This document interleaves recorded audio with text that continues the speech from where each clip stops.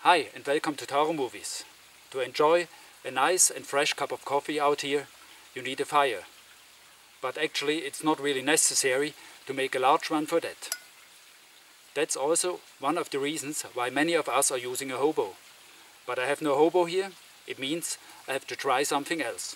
And how that works, I'm gonna show you now.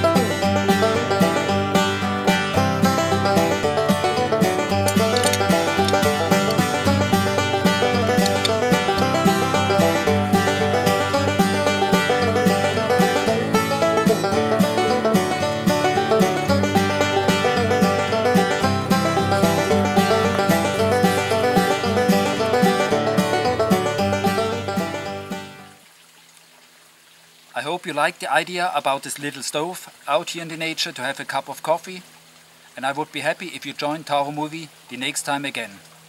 Thanks for watching, tschüss, ciao and bye bye.